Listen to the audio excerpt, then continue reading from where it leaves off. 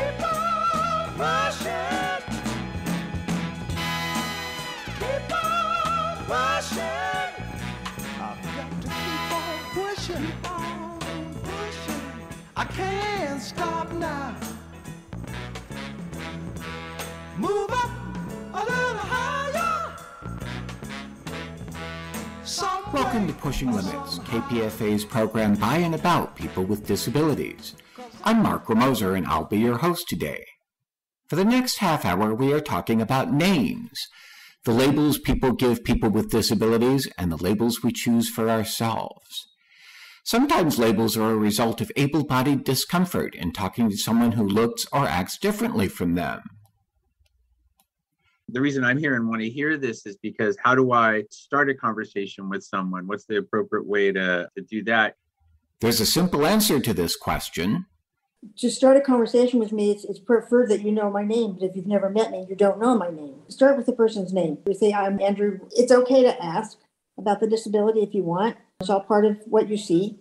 But historically and individually, the issue with names and labels is quite complex. To dive into it, we're going to take you to one of the weekly chat space sessions that happen every Friday at the Tri County Independent Living Resource Center in the Santa Barbara area, just north of LA.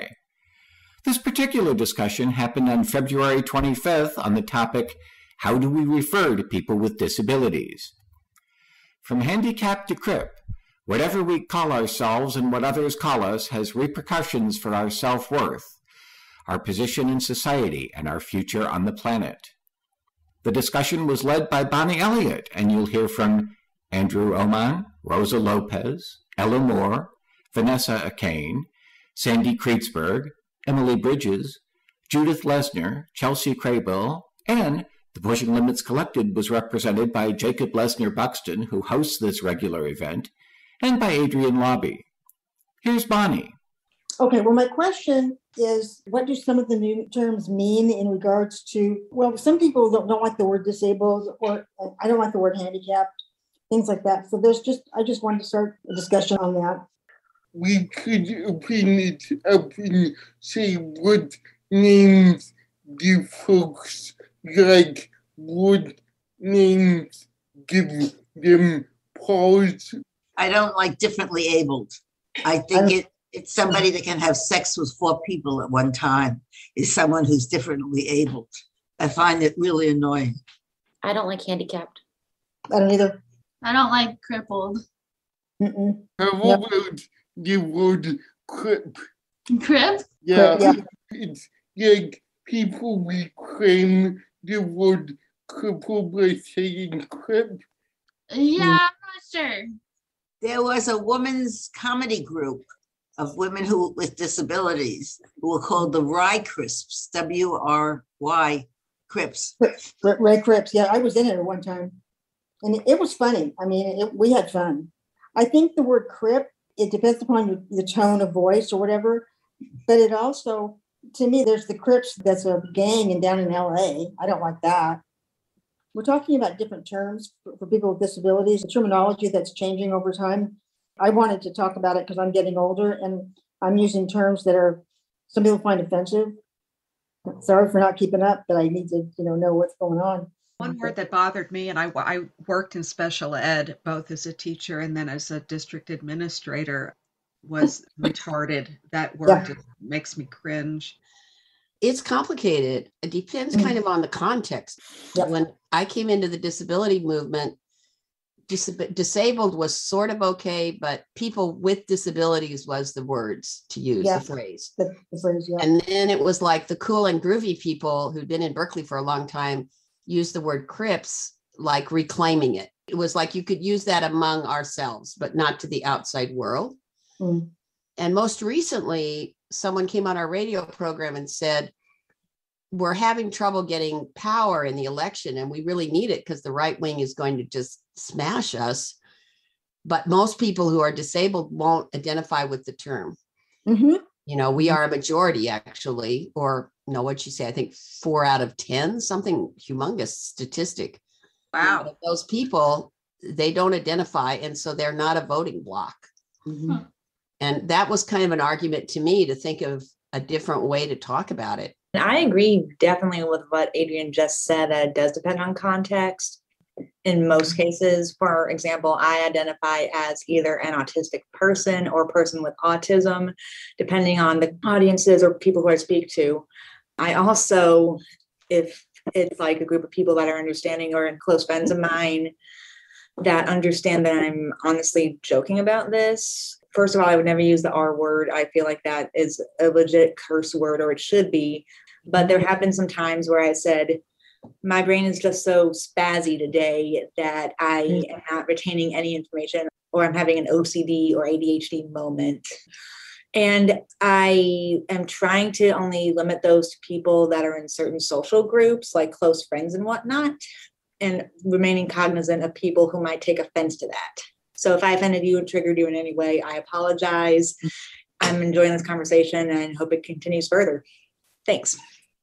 Another phrase that bothers me is deaf and dumb. I'm spiritual. Those who know me recently, like this last week, I had a totally different perspective on things.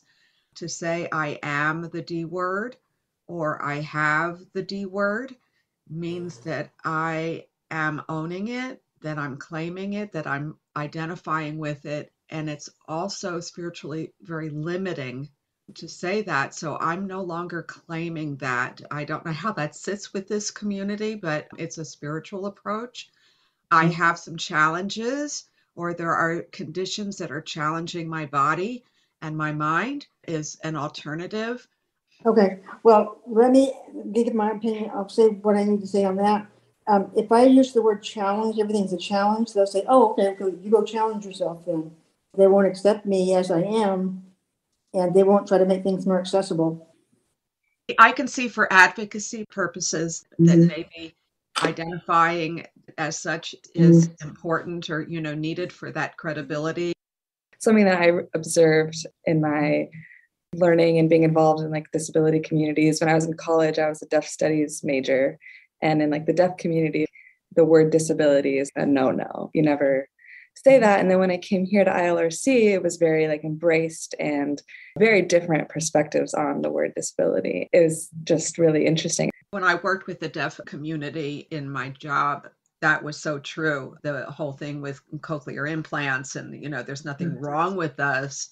We don't need fixing because we can't hear. It's a whole different culture, I think. I wonder how you feel about using the word limitations, particularly for individual illnesses or chronic diseases or whatever, where, like, you might say Adrienne is an asthmatic, and that's true, or you might say Adrienne has breathing limitations. And do any of you prefer one thing over the other? I'd say she has asthma or has has an asthmatic condition because it could be more serious than than oh she can't breathe sometimes. Do you need oxygen or you just need to have the door open for you to get fresh air? to me, that's the difference right there. Yeah. Ayla had mentioned if anybody had any thoughts on saying challenges or difficulties when referring to individuals in the disability community. I just don't like the word challenges because it dismisses the seriousness of it. I agree with you, Bonnie. I I think it takes away from the daily struggles that people with disabilities face. I would like to be a devil's advocate to you, Kelly. I appreciate your insight, but I also think that, like Vanessa said, maybe asking how they identify, like what their identities are, what terminology that they use, because yes, I do respect more often than not person centered um, and being putting somebody in the driver's seat of like whatever sorts of route they want to take with their life. But that also includes what they want to identify as like, I'm autistic, I'm deaf, I'm blind, I'm whatever it is right here versus I have autism, I have deafness. I don't think anybody says that, or I have low vision issues. I think it honestly all depends on the choice of said person. I want to find out how an individual wants to be identified if I'm having the opportunity to interact directly with that individual. Everything is usually couched in terms of the norm. Everything is like a, a reaction to what's considered normal. Like oftentimes we deal with whiteness is normal, and then everything else has to be compared to whiteness. Male is normal, and everything has to be compared to male. Yeah. And so I hear this term sometimes neurotypical, and I Mhm. don't I don't know how I feel about that. And I'm really kind of less interested in what I think about it and more interested in what you think about it. I'm in a power wheelchair, so my disabilities, I don't walk. A lot of people in our community have been wounded by the things they've been called. And so if you say challenged, they felt like their disability was completely ignored because some school administrators said, Oh, you just have challenges. Uh, they're going to react to that and think, Oh, you're just not cool. And I don't want to talk to you. And you're maybe the enemy. And so we're all sensitive about something. We all have stuff happen to us, whatever. It, everybody has. I moved to an apartment a, a year ago, and everybody here has had crap happen to them in their lives. And we get along pretty well. And it's just how it is. I think the thing about challenges is it puts the onus on the person with the disability Yeah. to conquer the Yeah. challenges Yeah. rather than to have society at large accommodate to what the person needs. And so I really don't like challenges because. I think it, it says if you were if you were better, you would be able to meet this challenge in a more Yeah. regular way, not asking what it is that would make things easier for you. This is KPFA's disability program Pushing Limits. Today we're listening to an open discussion sponsored by the Tri County Independent Living Resource Area about labels and names for people with disabilities. In the midst of the conversation, Jacob Lesner Buxton said that the name of this radio program, Pushing Limits, always seemed like inspiration pouring to him. He asked for the history of the name. Here's Adrienne's response. a bunch of us were sitting in a room. There was about 15 people, and we had been fighting to get this show on the air on our lefty radio station. We were frantically learning all the skills, and somebody came up with this name, Pushing Limits. And everybody went, Great, that works. and uh, we have this Curtis Mayfield song, which goes, uh, Keep on Pushing. And we use that as a theme song. And so that was kind of a great combination because he was also disabled. Keep on pushing. Keep on pushing.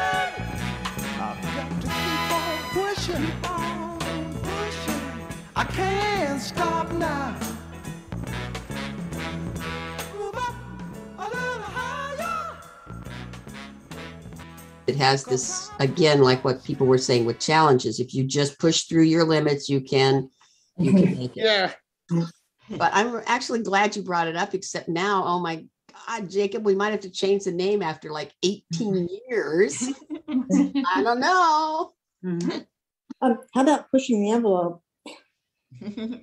I think pushing the limits is really quite good myself. But pushing, pushing is, is good. i think the limits is the problem right if it were pushing society Yeah. that's really what the show is about it's not really about pushing your own personal limits It's about pushing social limits. I mean, to me, it is. i like that interpretation thank you Yeah. When I hear it, it sounds like the limit are the limiters, the people who Mhm. place the limits. Yes. So that's what's being pushed on. So I don't I don't see it necessarily as a reflection of people who are different than others. It's like the limit of the people who can't accept difference.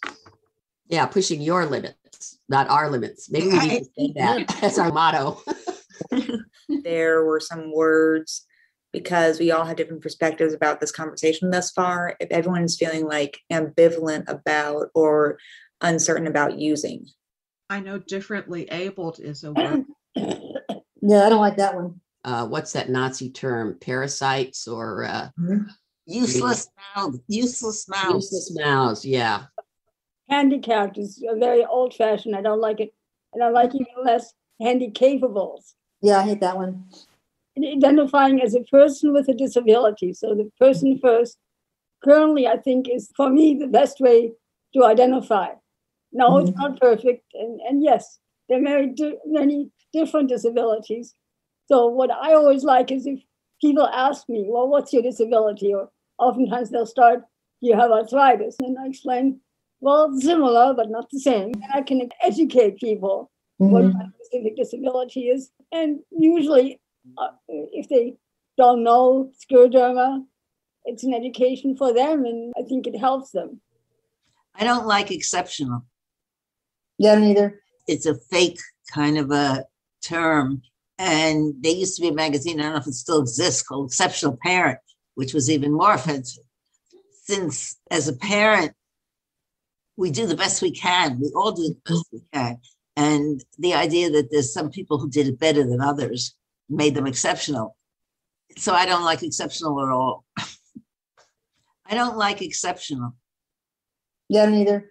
I think it's it's a fake kind of a term. And so I don't like exceptional at all.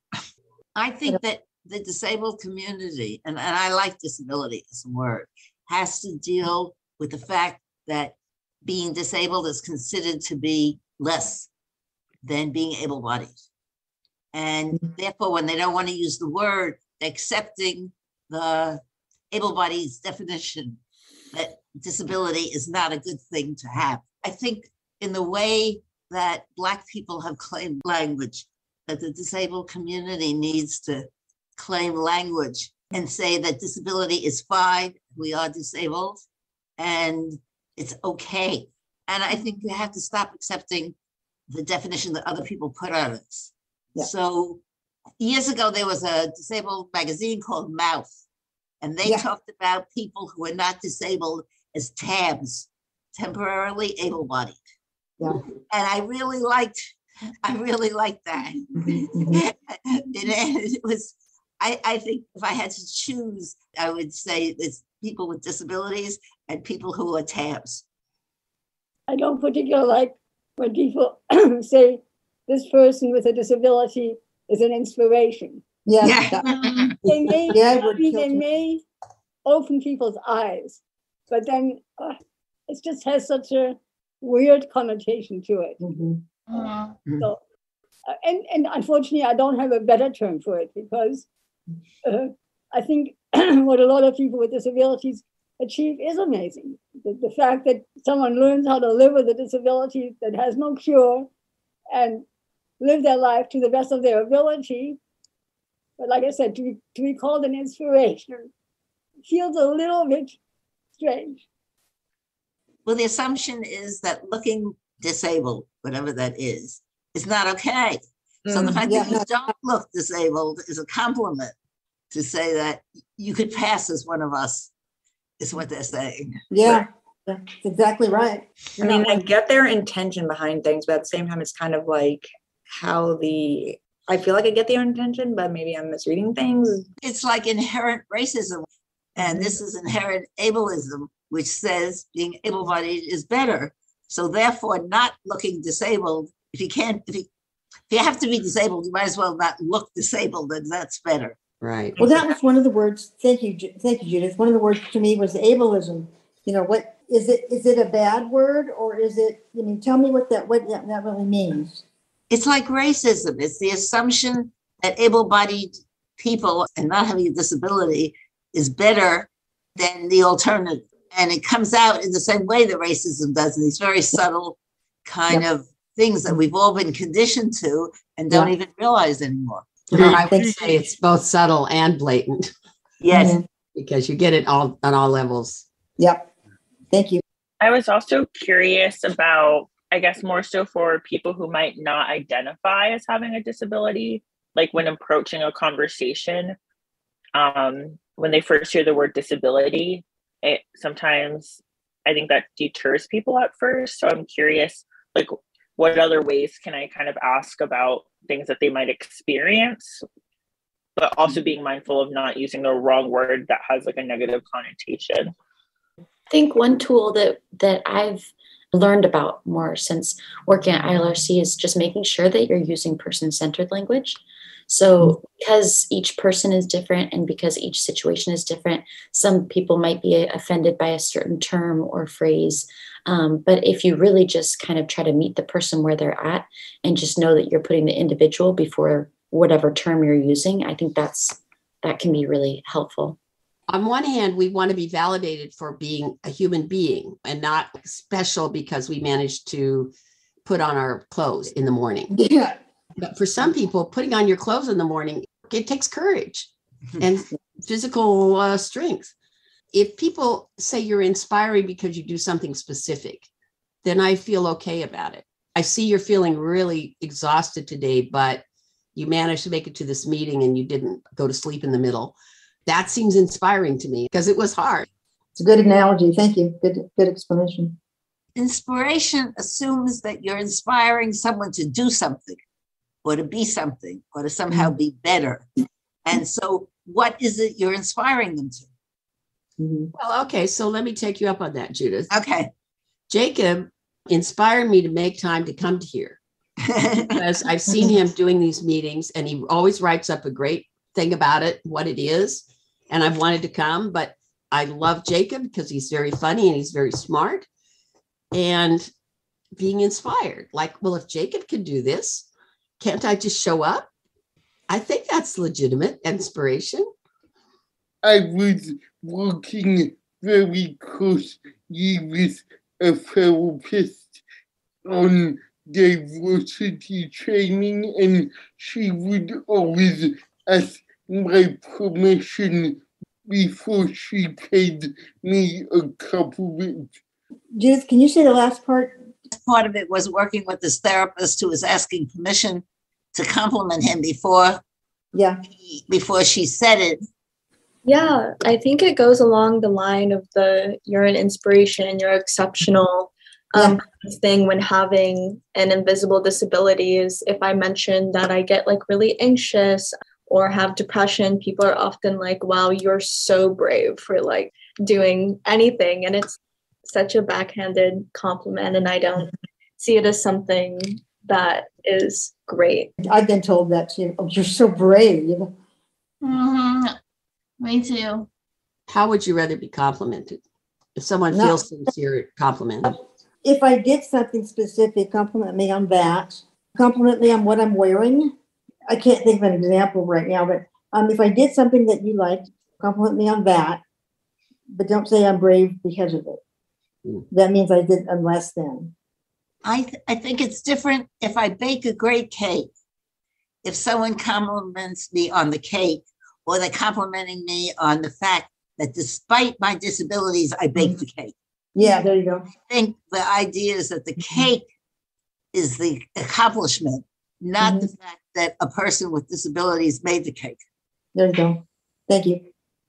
I think it's it's okay if people ask me what am I proud of, and for example, I'm proud of the fact that I sorry, I have survived scleroderma for 46, almost 47 years, which I know is exceptional. I am proud of that, and my goal is to live long enough to where they'll find a cure. And you can ask the other person other things you're proud of. That tells you about them, their relationship with their disability. You get to know them better. That might be a good approach. I work in education and there's so much definition. You lay definitions and diagnoses on mm-hmm. people. But when you do that, you're telling people what you think is important mm-hmm. because anybody is so much more than any kind of one particular thing you could measure. for mental disabilities, like going back to depression, something that I've struggled with before, it's hard because people will use terms like I'm depressed for when they're sad mm-hmm. after not being able to get into a taco shop or something so silly. So if you were to tell people that you're struggling or you're depressed, people don't often know on the scale of severe to insignificant really of where you're at with that. Something like you're unable to get your favorite food or if it, you can't get out of bed. If we only had more words to describe mental illnesses i think that could possibly help allowing people to understand where we're coming from mm-hmm. There's a, a whole hierarchy in the disability community that's ignored and mm-hmm. not ameliorated in any way. And I think it's accepting the able-bodied view of disability creates the hierarchy. I'm, I'm probably going to misquote this. I think it was Margaret Mead who was asked about the origins of civilization. What's the first thing that happened that we look at the anthropological record and mm-hmm. and people suggested different things. And the thing she said was no, it was the first time they discovered someone who had a bone that had mended and that they had lived for years after a bone being mended would would have mm-hmm. been like one of the first indicators of civilization because what that meant is that there are other people who saw value in them and cared for them and treated them as something other than as an animal And I think that's the challenge of the uh, disability community to show the rest that we are worth saving and, and that Yeah. we have worth. And it, it'll improve all of humanity if we embrace everybody, regardless of their capabilities. Yeah. that is a good challenge. It's a good challenge worth repeating to show the world that people with disabilities are worth saving, that we have worth, that it will improve all of humanity if we raise everyone, regardless of their capabilities. Thanks to everyone who took part in the discussion Bonnie Elliot, Andrew Oman, Rosa Lopez, Ella Moore, Vanessa Acain, Sandy Krietzberg, Emily Bridges, Judith Lesner, Chelsea Crabill, Jacob Lesner Buxton, and Adrienne Lauby. Thanks also to the Tri County Independent Living Resource Center, who sponsors discussions like this every Friday afternoon. You can find them at ilrc trico.org. We'll have a link to their website on our own website, pushinglimitsradio.org. Thanks to Jacob Lesner Buxton, Sheila Gunn Cushman, and Adrienne Lauby for production work on this program. Get your pen and paper ready. This Sunday, August 28th, there will be a celebration of the life of disability activist and poet Neil Marcus. This live-streamed event will happen from 2 to 3:30 p.m. The organizers have asked for memories or video clips under 2 minutes. Subtitles will be provided for the entire event, and the celebration will be recorded for those who cannot attend. The link to, to register is, here's the pen and paper part, https colon slash slash bit.ly forward slash 3wwi1v capital S. The other letters are lowercase. That's https colon slash slash bit.ly slash 3wwi1v capital S. Or go to our website at pushinglimitsradio.org for the link. We'll also link to our June 3rd program about Neil's life, the New York Times obituary, and other tributes. We've been talking about naming and labels today, and I'd like to give Neil Marcus the last word. Neil often said, Disability is not a brave struggle or courage in the face of adversity. Disability is an art, it's an ingenious way to live. This is Mark Romoser. Thanks again to all our guests, our engineer, EA, Josh Elwood, and the entire Pushing Limits gang, and thank you for listening. Pushing Limits is produced by a collective of people with disabilities. Contact us by email at pushinglimits, all one word, at kpfa.org. Next week at this time, tune in for Education Today with Kitty Kelly Epstein. Thank you. Thank you very much. Thank you, everyone, for- Lonnie. Thank you, Yeah. guys. Bye. Bye. Bye. Keep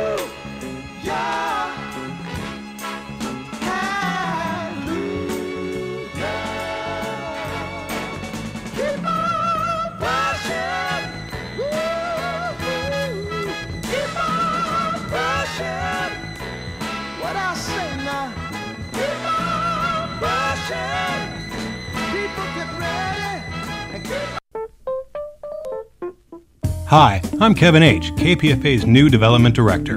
I've been a longtime fan of the station's programming and mission that speaks truth to power and protects the health, wealth, and welfare of our listeners. I'm here to help all donors, especially our monthly sustainers.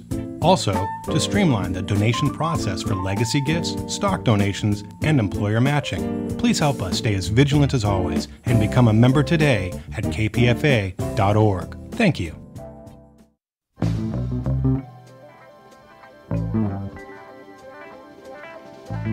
You're listening to 94.1 KPFA 89.3 KPFB in Berkeley, KFCF 88.1 FM in Fresno, 97.5 K248BR in Santa Cruz, and online worldwide. Worldwide. Worldwide at kpfa.org.